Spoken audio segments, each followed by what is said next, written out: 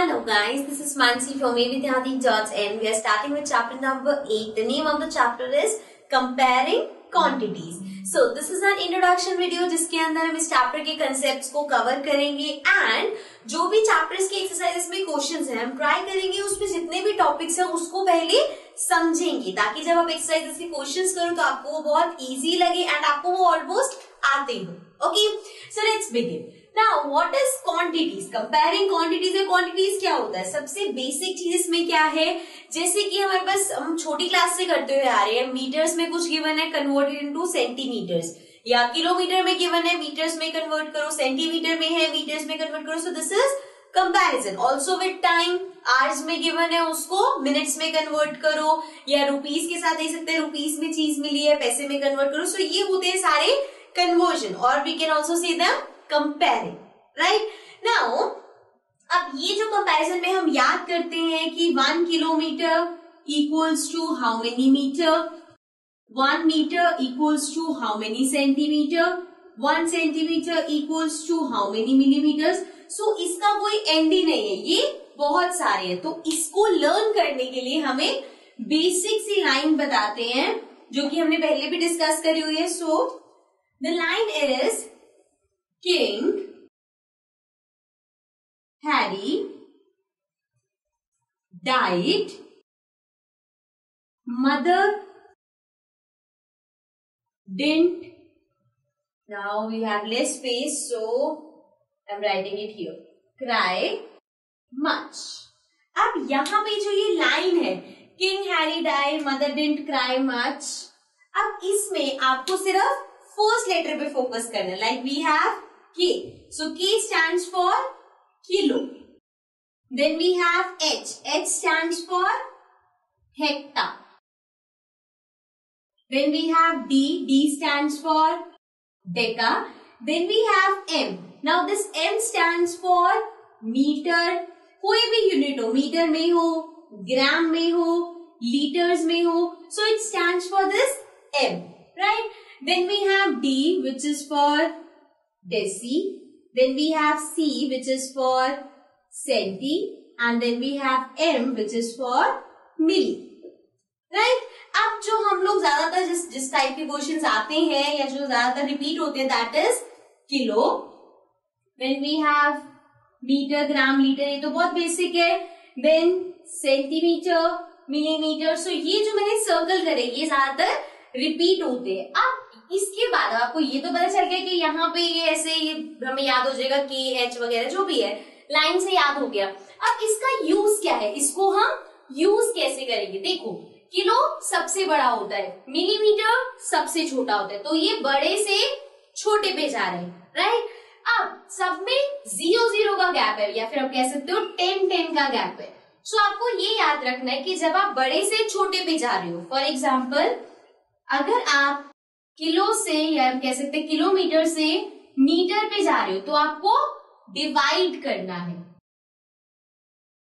Similarly अगर आप छोटे से बड़े पे आ रहे हो लाइक फॉर एग्ज़ाम्पल मिलीमीटर से किलोमीटर पे आ रहे हो तो आपको करना है मल्टीप्लाई अब देखो, अब ये ज़रूरी नहीं है कि हमेशा आप इस एंड से उस एंड पे भी जाओगे। बीच में भी बहुत कुछ हो सकते हैं। हो सकता है आप मीटर से किलोमीटर में आ रहे हो हो सकता है आप मीटर से मिलीमीटर में जा रहे हो या सेंटीमीटर से मीटर में आ रहे हो तो कहीं भी आगे पीछे हो सकता है। बस आपको ये देखना है कि आप बड़े से छोटे पे आ रहे हो या छोटे से बड़े पे जा रहे हो।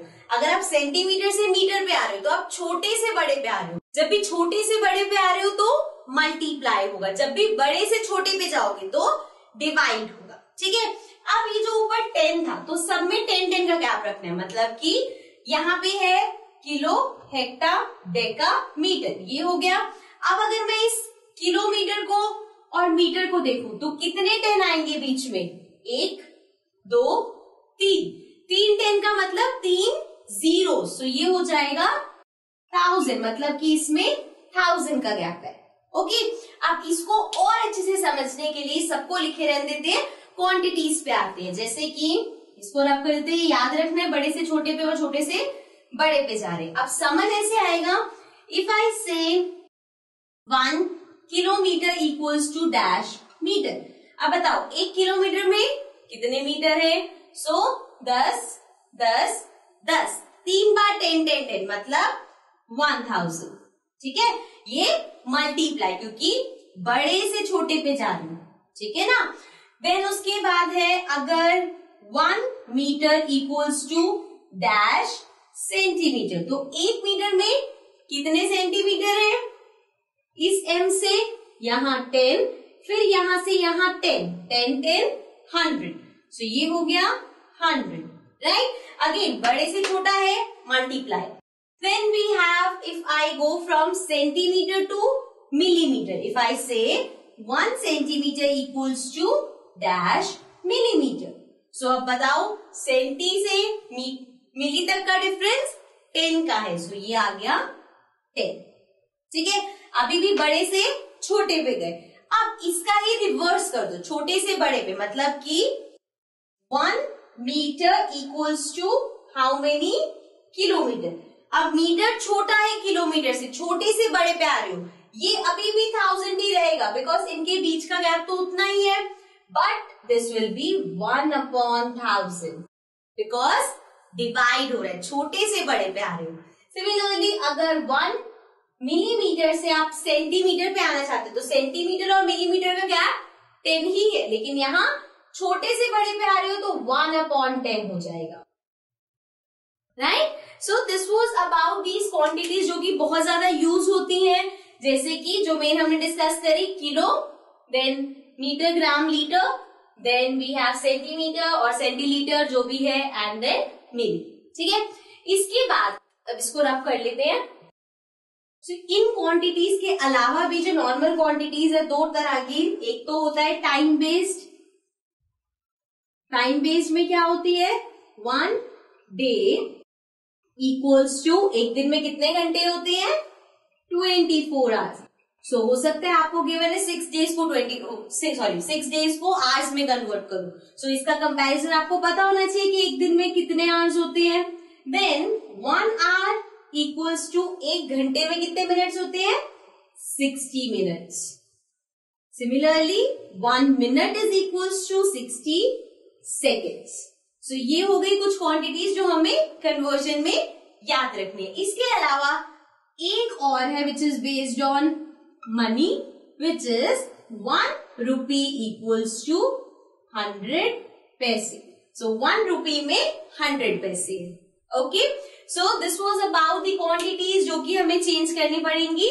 Now let's come to the next topic now our next topic is based on the questions जो कि आते हैं. सो लेट सपोज़ आपके पास क्वेश्चन आया है जिसमें आपको गिवन है कि टेन पेन्स की कॉस्ट नाइन्टी रुपीज़ है. सो व्हाट इज़ गिवन कि टेन पेन्स की कॉस्ट नाइन्टी रुपीज़ है. एंड आपसे पूछा है कि फिफ्टीन पेन्स की कॉस्ट बताओ। अब पता क्या है आपको कि दस पेन इतने के हैं तो आपको पंद्रह पेन्स के बताने हैं अब दस से पंद्रह आना है नॉट दैट इजी लेकिन अगर मैं आपको एक पेन की कॉस्ट बता तो क्या पंद्रह पेन की कॉस्ट निकाल सकते हो? जैसे कि इससे अलग एक लेते हैं कि एक पेन टेन रुपीज़ का है। अब अगर मैं आपसे पूछूँ पंद्रह पेन कितने के हैं तो बहुत इजीली बता सकते हैं। वन फिफ्टी इंटू टेन कर देंगे। मतलब कि वन फिफ्टी रुपीज़ सो इससे हमें पता चला कि अगर हमें एक चीज़ का प्राइस पता होगा तो हम ज़्यादा का निकाल सकते हैं। तो जब भी इस तरह के टाइप के क्वेश्चन आएँगे, आपको हमेशा पहले एक की कॉस्ट निकालिए अगर एक की आ गई तो आप ज़्यादा की निकाल सकते हो। अब अगेन आपको वो याद करना है कि जब हम ज़्यादा चीज़ से कम चीज़ पे आते हैं तो होता है डिवाइड और जब हम कम चीज़ से ज़्यादा चीज़ पे जाते हैं तो होता है मल्टीप्लाई राइट सो अब आप यहाँ पे दस पेन की कॉस्ट है। दस से एक पे आ रही so cost of ten pens अब दस पेन की कॉस्ट आपको पता है, नाइन्टी रुपीज़ है। आप आ रहे हो cost of one pen so एक पेन की कॉस्ट निकालने पे आ रही तो क्या होगा? डिवाइड डिवाइड क्या होगा? दस पेन की cost upon ten right so zero से zero cancel this is nine this means कि एक पेन नाइन रुपीज़ का है राइट सो वन पेन की अब कॉस्ट आपके पास आ गई। Now we find the cost for fifteen pens अब फिफ्टीन पेंस की कॉस्ट कैसे निकालोगे? अभी हम आए थे दस से एक पे। सादा से कम पे आए डिवाइड किया। अब हमारे पास एक की कॉस्ट है। पंद्रह की निकाल रहे हैं मतलब कम से ज़्यादा पे जा रहे तो होगा मल्टीप्लाई पर। अब मल्टीप्लाई नाइन इंटू वन तो नहीं होगा। एक की कॉस्ट नाइन है, जितने की निकालनी है, उससे कर दो multiply right so fifteen into nine will be इसको मल्टीप्लाई करके देख सकते हैं fifteen into nine so nine into five is forty five then nine into one is nine ten eleven twelve thirteen so we have one thirty five means कि आपके पास पंद्रह pens की कॉस्ट होगी वन थर्टी फाइव एंड इस type के questions अलग अलग वे में बहुत सारे आने वाले हैं तो आपको हमेशा ध्यान रखना है कि जब भी आपको ज़्यादा का गिवन है, ज़्यादा का ही निकालना है तो हमेशा वन की पहले निकालना ओके वन की कॉस्ट या वन का जो भी दे रखा होगा वन स्टूडेंट का जैसे अगर मान लो दस स्टूडेंट्स की इतनी फ़ीस आई, एक स्टूडेंट की फ़ीस निकालोगे, तभी पचास की निकाल पाओगे। ठीक है? सो ये ध्यान रखना, जब भी ऐसा होगा, पहले वन की देन ज़्यादा। Okay so now let's come to the next topic now our next topic is percentage जिसका साइन ये है। अब परसेंटेज का वैसे एक्चुअल मीनिंग अगर आप देखोगे ना तो वो बनता है per hundred means percentage means per hundred of anything अभी परसेंटेज आपने डे टू डे लाइफ में बहुत सुना होगा, जैसे उसके फोर्टी परसेंट मार्क्स आए, उसकी सिक्सटी परसेंट अटेंडेंस है तो ये परसेंटेज वर्ड हम बहुत बार यूज़ करते हैं। अब इस चैप्टर में परसेंटेज के किस टाइप के क्वेश्चन आएँगे? Let's see so one thing can be conversion so अभी जो हम समझेंगे वो है कन्वर्जन मतलब कन्वर्ट करना। जैसे कि if I give you a fraction and उस फ्रैक्शन को आपको कन्वर्ट करना है परसेंटेज में राइट right? सो so, अगर आपके पास फ्रैक्शन है let suppose one upon four और इस फ्रैक्शन को आपको कन्वर्ट करना है परसेंटेज में। किसी भी फ्रैक्शन को परसेंटेज में कन्वर्ट करने के लिए सबसे इजी वे है multiply by hundred so multiply कर देना है आपको हंड्रेड से। सो दिस विल बी से कट कर सकते हैं फोर इन टू टू से कट करते हैं this is two this will be fifty again two twenty five so this means one upon four is equals to twenty five percent so आपके पास कोई भी फ्रैक्शन हो अगर उसे परसेंटेज में कन्वर्ट करना है so multiplied by hundred right next आता है जैसे ये फ्रैक्शन को परसेंटेज में किया है ऐसे ही अगर आपको डेसिमल को परसेंटेज में करना है सो so, डेसिमल को परसेंटेज में करना है. लेट्स टेक एन एग्जांपल 2.1 अब 2.1 डेसिमल नंबर है. इसको परसेंटेज में करना है. तो कैसे करेंगे? डेसिमल हटाया. अपॉन टेन हो गया. राइट बिकॉज़ एक डिजिट है पॉइंट के बाद. सो so, नीचे टेन हो गया. मल्टीप्लाइड बाय हंड्रेड जैसे नॉर्मल हमने इसमें किया. So twenty one upon ten into hundred हो गया. सो so, ज़ीरो से zero cancel into ten will be two hundred ten percent okay so अगर आपको फ्रैक्शन को या डेसिमल को परसेंटेज में करना है तो फ्रैक्शन के लिए डायरेक्ट उसे मल्टीप्लाई कर देंगे हम हंड्रेड से। डेसिमल में पहले पॉइंट हटाएँगे देन मल्टीप्लाई करेंगे हंड्रेड से। तो इस तरह से हम उसे परसेंटेज में कन्वर्ट कर सकते हैं। So let's come to the next topic so now will discuss about अभी हमने देखा कि आपके पास अगर फ्रैक्शन या डेसिमल है तो आप उसको परसेंटेज में कन्वर्ट करोगे। अगर इसका उल्टा कर दे मतलब कि आपको परसेंटेज गिवन है और परसेंटेज को आपको या तो डेसिमल में कन्वर्ट करना है या फ्रैक्शन में कन्वर्ट करना है। सो लेट्स सी हम वो कैसे करेंगे। सो so, अगर आपको गिवन है twelve percent now you have to convert this twelve percent into इधर फ्रैक्शन और डेसिमल सो इस ट्वेल्व परसेंट को यहाँ जो परसेंट है इस परसेंट को हम कर देंगे अपॉन हंड्रेड मतलब कि ये हो जाएगा ट्वेल्व अपॉन हंड्रेड जब हम यहाँ से डेसिमल या फ्रैक्शन से परसेंटेज पे आते हैं तो मल्टीप्लाई हंड्रेड होता है. जब परसेंटेज से डेसिमल या फ्रैक्शन में जाते हो तो अपॉन हंड्रेड हो जाता है. सो so, इसको कट करते हैं. टू के टेबल से कट कर सकते हैं. This will be six this will be fifty फिर से टू के टेबल से कर सकते हैं। This will be three this will be twenty five अब थ्री और ट्वेंटी फाइव फर्दर कट नहीं हो सकता। This is a fraction so हमने यहाँ परसेंटेज को फ्रैक्शन में कन्वर्ट किया। सिमिलरली अगर आपको डेसिमल में कन्वर्ट करना है तो कुछ नहीं करना। डायरेक्ट इसको डिवाइड कर दो। वो डेसिमल में हो गया।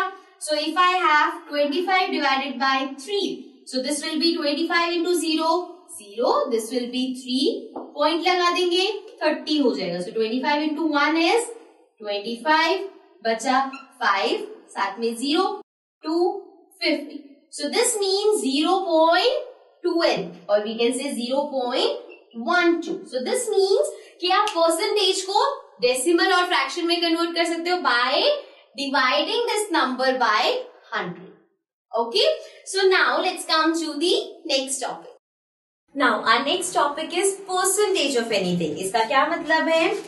परसेंटेज ऑफ़ एनीथिंग मीन्स कि आपके पास अगर कोई क्वेश्चन है लेट सपोज़ कि आपको दिया हुआ है find twenty percent of two fifty right अब आपको बताना है टू फिफ्टी का ट्वेंटी परसेंट कितना होगा?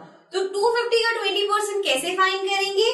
देखो ट्वेंटी परसेंट को। I can write it as twenty upon hundred remember हम जब परसेंटेज को फ्रैक्शन में करते हैं तो अपॉन हंड्रेड कर देते हैं। So twenty upon hundred of का मतलब multiply two fifty two fifty से मल्टीप्लाई सो ज़ीरो से ज़ीरो कैंसिल ज़ीरो से ज़ीरो कैंसिल बचा twenty five into two so twenty five into two is five into two ten two into two four plus one five मतलब कि fifty two fifty का twenty percent fifty होता है। ये तो बहुत सिंपल था, आराम से कट कट आ गया, लेकिन अगर यही आपको गिवन होता कि 250 का 15 परसेंट निकालो so so 15 percent of 250 will be करने का तरीका सेम रहेगा। 15 upon 100 into two right zero से ज़ीरो कैंसिल फाइव के टेबल से कट हो जाएगा दिस विल बी टू ये हो जाएगा five now fifteen is sorry fifteen into five is seventy five upon two fifteen into five seventy five upon two अब उसको पॉइंट में निकालना पड़ेगा मतलब डेसिमल में टू को डिवाइड करेंगे हम सेवेंटी फाइव से। We get two into three six this will be five one so two into seven fourteen one point लगाया zero five ten so this means thirty seven point five मतलब कि 250 का 15 percent होगा 37.5 okay so ये बात करी हमने कि किसी भी चीज़ की परसेंटेज निकाला जैसे इतने का इतना परसेंट क्या होगा? सो so, वो अब इसमें एक और तरह का क्वेश्चन आता है विच इज़ अभी तो आपको गिवन था कि इस इतना आपको क्वांटिटी गिवन है इस क्वांटिटी का इतना परसेंट निकाल के दे दो। अब अगर ऐसे आ जाए that five percent of it is six hundred अब इसका मतलब क्या है? पहले क्वेश्चन समझना। Five percent of it it given नहीं है किसका फाइव परसेंट लेकिन किसी भी नंबर या क्वांटिटी का फाइव परसेंट सिक्स हंड्रेड आएगा। अब किसका फाइव परसेंट आए ये आपको फाइंड करना है। तो कैसे करोगे? लेट सपोज़ ये जो इट है, इसको ले लेंगे हम x so five percent of अब फाइव परसेंट ऑफ़ किसका? एक्स का। कितना है? सिक्स हंड्रेड अंडरस्टैंड एस इस तरह से क्वेश्चन ज़्यादा आएँगे as compare to this so उसमें आपने एक्स रिलेट कर लिया। अब एक्स फाइंड करोगे तो ये six hundred as it is multiply ये वहाँ पे आगे इसका रेसिप्रोकल हो जाएगा। So hundred upon five right so ये कैंसिल कर देंगे। Five into one five this will be one two zero so ये आ गया ट्वेल्व थाउज़ेंड मतलब ट्वेल्व थाउज़ेंड का फाइव परसेंट सिक्स हंड्रेड होता है। ठीक है? सो इस तरह के क्वेश्चंस आ सकते हैं, बहुत अच्छे से आ सकते हैं तो बहुत अच्छे से इसको तैयारी भी करना। Okay let's come to the next topic so percentage के अंदर हमारा लास्ट टॉपिक है which is ratio to percentage अब अगर आपको रेशियो में गिवन है, आपको उसे परसेंटेज में कन्वर्ट करना है। For example three is to one given है। अब three is to one ratio है। आपको बताना है इसका परसेंटेज क्या होगा। परसेंटेज रेशियो क्या होगा? सो so, थ्री को हम लिख सकते हैं three upon four and one को लिख सकते हैं वन अपॉन फोर ये सब हमने रेशियो के टाइम पढ़ा हुआ है कि कैसे फोर कैसे आया? थ्री प्लस वन करके। तो ये हो गया थ्री अपॉन फोर ये हो गया वन अपॉन फोर अब इस थ्री अपॉन फोर और इस वन अपॉन फोर को हमें परसेंटेज में करना है which is a kind of fraction तो फ्रैक्शन को कैसे करते हैं? थ्री अपॉन फोर को किया into hundred right so ये हो गया four two fifty two twenty five now twenty five into three is seventy five so ये सेवेंटी फाइव परसेंट है बिकॉज़ मल्टीप्लाई बाय हंड्रेड किया है. ऐसे ही वन अपॉन फोर है इंटू हंड्रेड कर दो. This is two fifty one twenty five तो ये आ गया ट्वेंटी फाइव मतलब अब क्या रेशियो हो गया परसेंटेज में?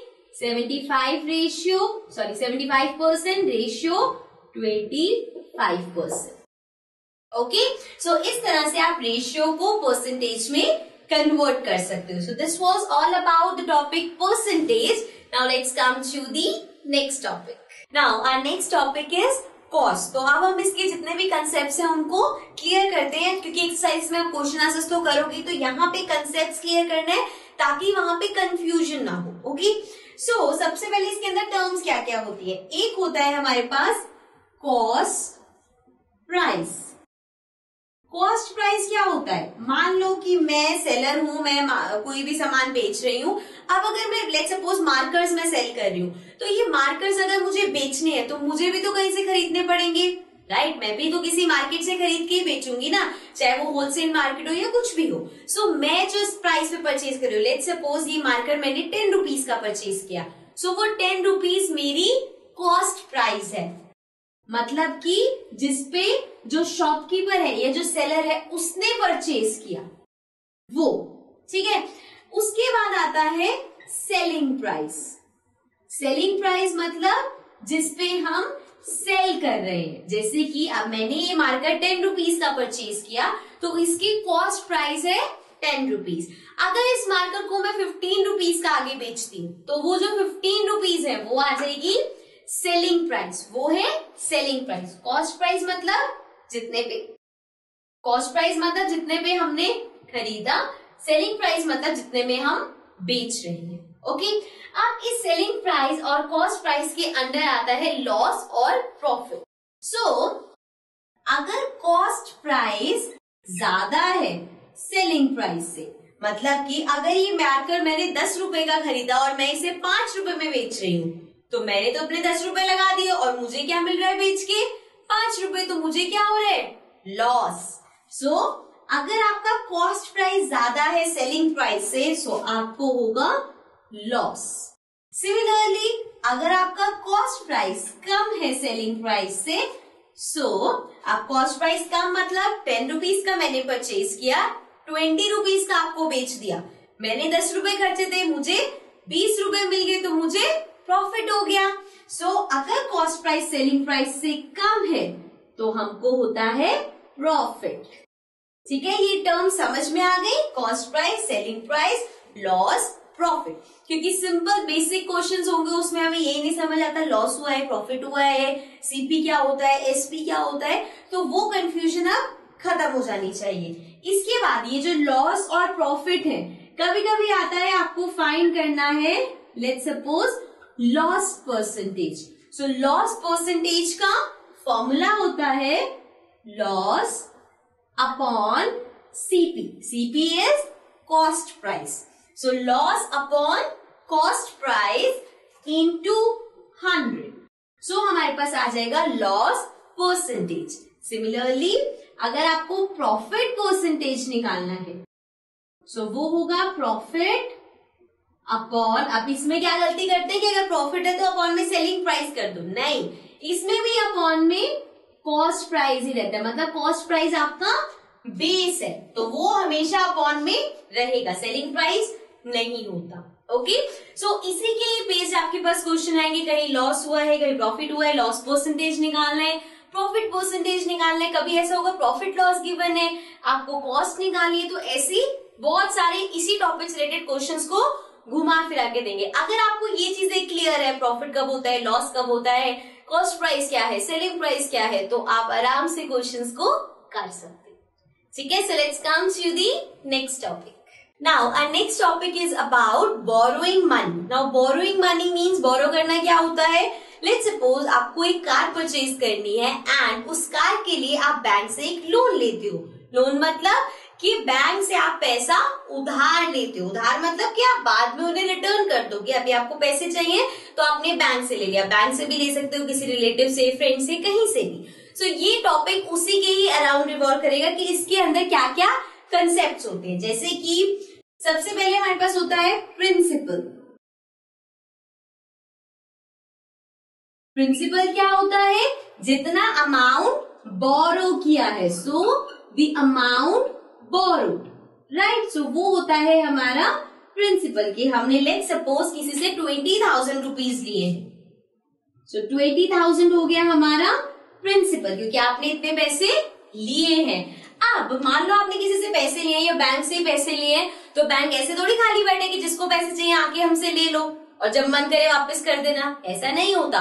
वो क्यों पैसे देते हैं? क्योंकि आप उसे इंटरेस्ट दोगे। इंटरेस्ट मतलब कि मान लो आपने आज बीस हज़ार रूपए लिए तो आप उसे एक साल बाद जब पैसा वापस करोगे तो लेट सपोज़ कुछ इन परसेंटेज ऑफ़ इंटरेस्ट लगाने के बाद आप उसे ट्वेंटी फाइव थाउज़ेंड वापिस करोगे। अब जो ये फाइव थाउज़ेंड आप एक्स्ट्रा दे रहे हो, ये क्या है? इंटरेस्ट क्योंकि उसने आपको पैसे दिए राइट सो इंटरेस्ट होता है जो हम एक्स्ट्रा मनी पे करते हैं। So we can write interest is the extra money मतलब जितना आपने लिया, उससे एक्स्ट्रा मनी आपको कुछ देनी पड़ेगी। ठीक है?